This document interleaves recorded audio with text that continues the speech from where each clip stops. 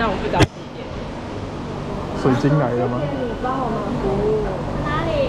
也要你们来搭搭乘缆车，没有声音。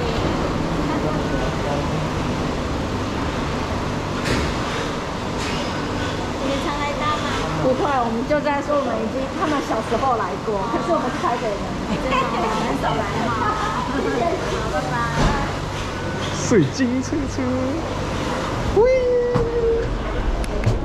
就是因为在台北，所以哎，宝宝，你要跟哥哥做吗？你啊，这什么？你想干嘛？没事我不知道你要干嘛好，就这样，就这样。你想干嘛声音排，声音。